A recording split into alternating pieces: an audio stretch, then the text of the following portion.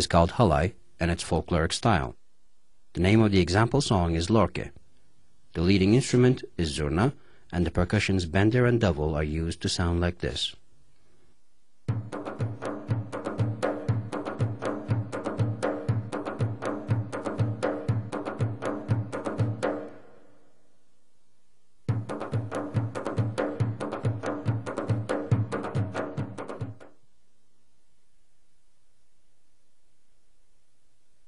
Welcome to Belly Dance Berks. I'm Helena Zahra, and we're going to continue our tour around the world. Next stop, Turkey. And in Turkey, it will be İyi Ben Elena Zahra. So I hope you're enjoying this show, and we're going to begin in Turkey this evening. I have a picture of Turkey, if I could have the first picture, please. So that you see where Turkey is situated on the world map. It's really close to all the other Middle Eastern countries, obviously, where the dance form has traveled through. And so we're going to be paying particular attention to Turkey, and next month we're going to go on to Egypt, where you see it's in the corner of North Africa there. Thank you.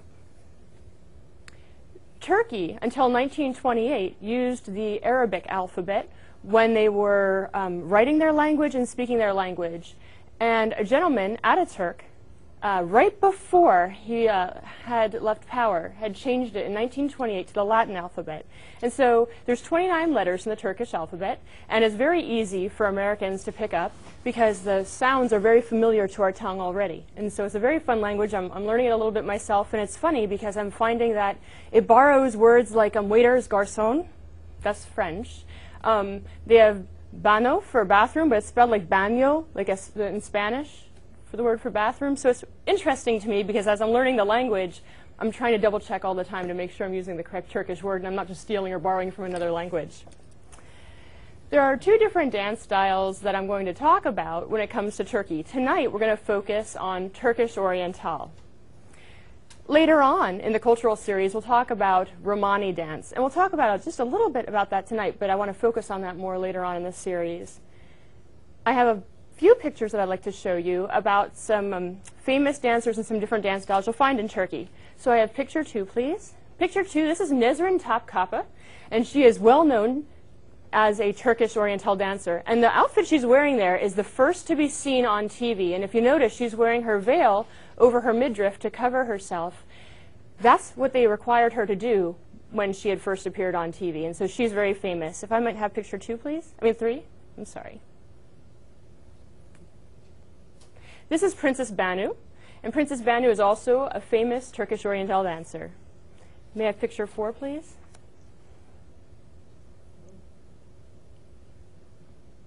These are whirling dervishes. They are doing a religious and symbolic dance, and they can spin for hours and hours and hours. Now, some individuals have taken this to more of a visual art where they can move the skirt up and down their body as they're whirling. But these individuals, this was a, a religious dance, and they spin into a trance-like state. May I have picture five, please?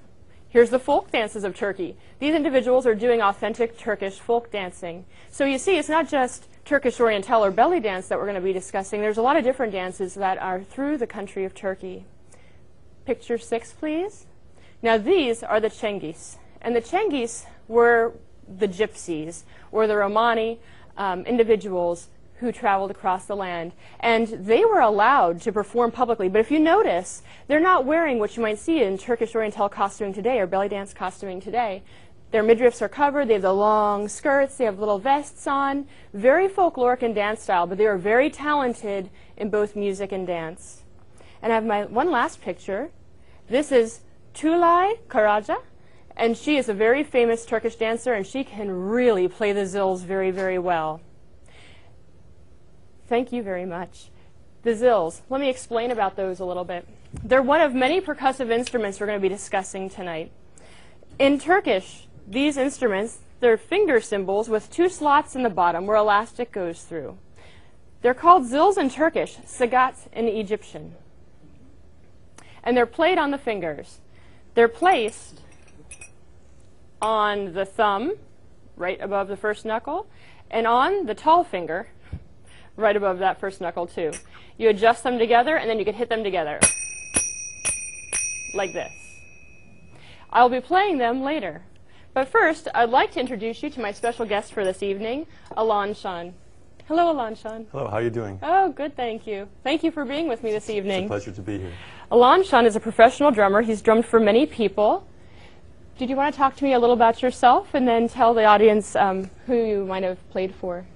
Well, I picked up drumming a couple years ago uh, when I was at a first night celebration in State College, Pennsylvania, and there was a group from Allentown that was there drumming and dancing, and I got into drums. And I first got into frame drums and then goblet drums, and soon after that, uh, walked on at the Pennsylvania Renaissance Fair, and then the next year was a regular uh, Blackfriar with them. And through them, I played for various people, people who played guitars and flutes and violins. I also played with uh, Maggie Sansone, who's a famous uh, hammer dulcimer player from Baltimore. And then at the fair, I also uh, learned about belly dancing and, and drummed for dancers, including yourself there, and then it kind of took off from there. Yes, Alon Shan is one of the many um, Ren Fair performers that I had uh, met in my experience at the PA Renaissance Fair. We had Isabella on last time, and Alon Shan is the drummer that drums for Isabella and I um, frequently, depending on, on the job that we're doing. And he's very talented, and that's why I asked him to be on the show this evening because he's not, um, he doesn't play just one of the rhythmic instruments. He plays many different types of drums, and he's going to talk about those a little bit uh, in a minute. Can you talk a little bit about the, the drums and what are the differences between the drums? Well, first off, there, there are two kind of styles of drum. Uh, one style of drum is known as a goblet drum because it looks kind of like a goblet. They're very long with a more narrow head and a, a neck in the middle. So that's one style, is the goblet drum. The other style is a frame drum. It almost looks like you were harvesting grain or something like this. So it's a much uh, wider area and shallow.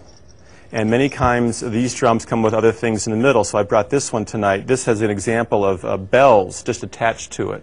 So it's not kind of like a tambourine where you shake it to get the bell sound. You actually strum it and then you get a little chime on the outside.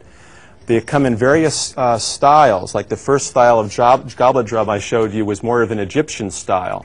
It's a, it's a smaller head. In this case, it's synthetic. The Turkish style drum uh, is much larger in many cases, but you see the head is all the way to the edge, which allows you to hit the rim differently with your fingers. And lastly, another small frame drum used in both Turkey and Egypt is called a riq, R-I-Q, and it looks kind of like a tambourine, but they don't shake it. They hold it and then strum it, and you get a little jingle on the outside, or sometimes you, you lightly strum uh, the jingles. There are many styles of drums. I have lots of them from uh, various kinds of Middle Eastern and North African drums. Some of them weigh about 15 pounds with very heavy jingles on them. All kinds of possibilities. Uh, then a frame drum in the Celtic lands is known as the bodhrán, and you play that with a stick. But in this case, we'll be playing with our hands, not with any sticks or anything else.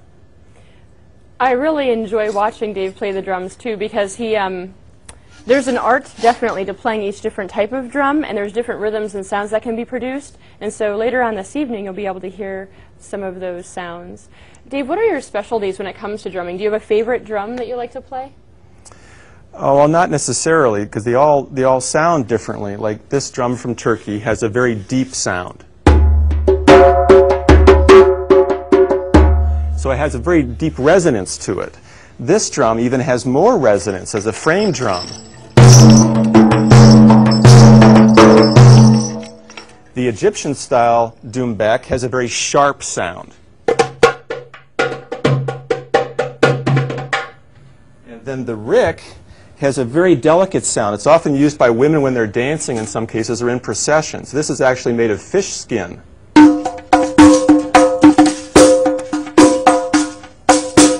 So it depends on what the style of the dancing is, who else is drumming with me, what other kind of instruments I might be playing with, which one I might prefer in a given case. But I like them all. I like them all too. Just hearing them play makes me want to start dancing right away. But I have a few more questions for you. Sure. Do you teach lessons so that if anyone was interested, they might be able to contact you? Uh, yeah, I teach uh, basic rhythms, especially for tribal belly dance. Uh, I don't do too much of the odd signatures, but I'm familiar with some of those. But especially for uh, tribal, which is based on an eight count. I've got some worksheets on that, and I can show people the different drums and different techniques of strokes and things like that. what do you think someone should know before they begin drumming or taking lessons for drumming? Uh, I'm not sure that they need to know anything in particular. It's just getting used to it and feeling comfortable with what your fingers are doing and what the drums are doing and different ways that your fingers make different sounds on the drums. And then just a lot of practice and experimentation, I think, is the best way. When we were at Ren Fair and we were performing, what was your most favorite memory from the fair? Well, I have several memories. Uh, one, when I was when I was drumming for you, for example, uh, there was a piece on a drum I'd be playing more slowly, and as we got going, it would speed up and speed up and speed up and speed up until finally you were in a lather and you fell back, and you were done. You know, so that was really great. And then uh, another one that was interesting with uh, Maggie Sansone when I was with her playing the hammer dulcimer. She actually had me hold the hammer dulcimer and move while she was playing it. And it's the first time anybody had ever seen a walking hammered dulcimer because you have to know exactly where the strings are. Um, but I like drumming for dancers in particular. I like the synergy back and forth. Uh, so th there are a lot of memories that come to mind, both from the Pennsylvania Fair and Virginia and doing street things with you and whatnot. Yeah, one of my favorite memories also is what he was explaining, and I'm hoping to show them that this evening, mm -hmm. is to start out slow, um, do a little bit of a veil piece, and then uh, let the music get a little faster and, and throw in some zills, and then and the music would just get faster from there. And if you want to throw in a little drum solo, I'm up for it. Okay. A lot of times, um, the dance is very improvisational. Yes, individuals can do choreography to the dance. Now, for example, tonight I have no idea what Dave is going to. I'm sorry, Alanshan's going to play. His name is also Dave. Um, I don't know what he's going to play this evening, but what I'm going to do is try and, and create or help to create that synergy, try and feel where he's going to go next with the music and um, perform to that. But first, I'm going to go to a small break. You're watching bctv.org. Be informed, be involved, be a member. For membership information, go to www.bctv.org slash support slash membership. For other stories and information, go to bctv.org.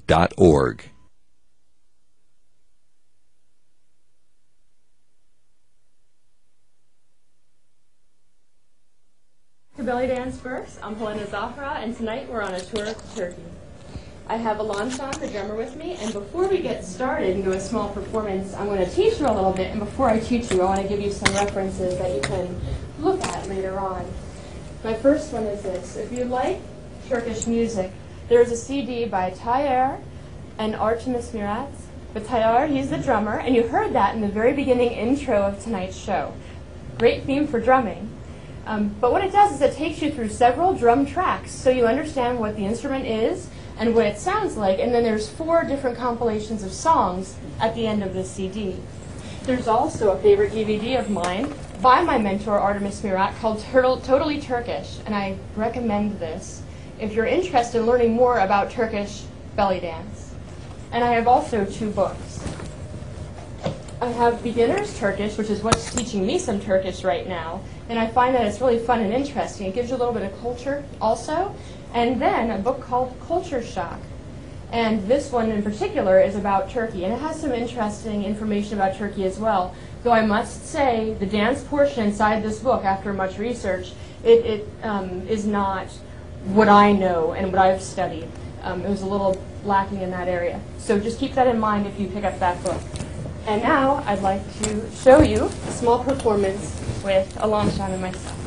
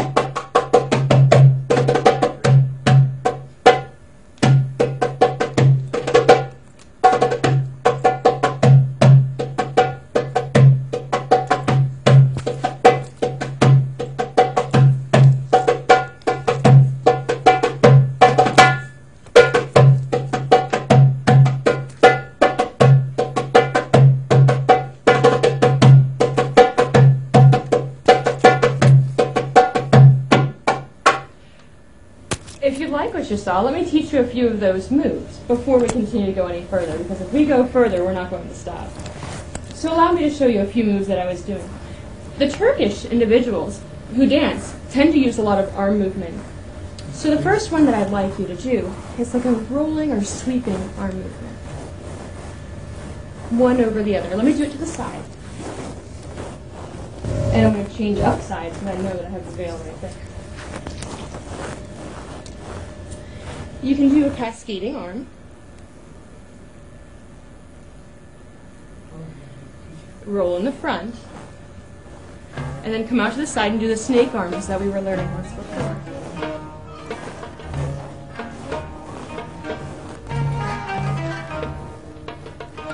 This is the Turkish arm position to do your head slides. So if you notice, one hand's crossed right on top of the other, and you can do the head slides. Now, this is very different because in Egyptian dance form, which you're going to see next month, the dancers are very poised with their arms and they tend to move their hips and not their arms so much. And so the Turkish dance form might initially come off like as very busy to someone who's used to Egyptian, but really, the Turks just tend to use their arms a lot more. Very expressive. You can cross at the elbows. I'm going back and forth and up and down. And this is one of my favorite ones. So if you take your arms and then peek, I think it's really cute.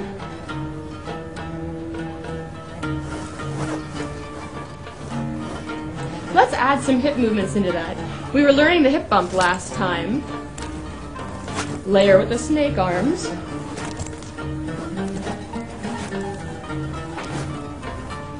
Take the arms up into that head slide.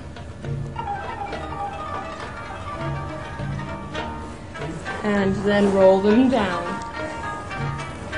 Cross at the elbows. And peek.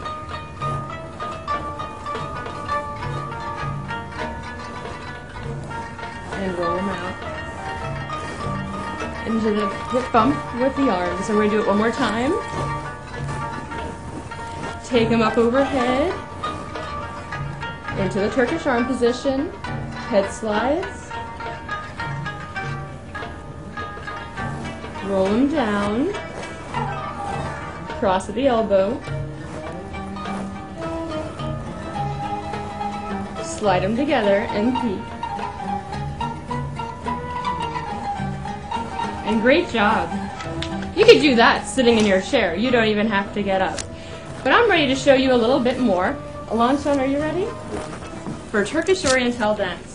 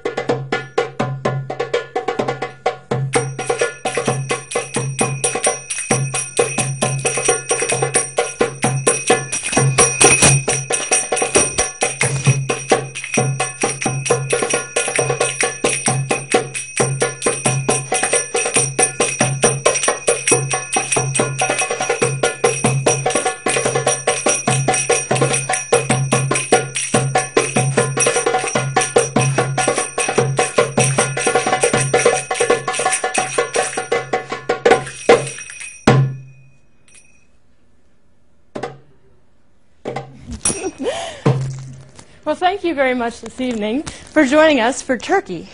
Next month, we're going to meet with Amala Gamila, who is an Egyptian Oriental dance artist, and she's going to bring her keyboardist with her, I think. Thank you, Alanchan. How, once you. again, can people contact you? Uh, they can contact me through you, of course, or my email address is uh, the letter T, the word rainbow, the number two, at yahoo.com. And once again, you can contact me with any questions, or if you would like to see more dancing on the show, or know more about culture, you can tell me your opinion, and I'd be happy to oblige. You can reach me at Helena at bellydancebyhelena.com or 484 769 5540. Have a great night, and thank you for joining us at Belly Dance Berks.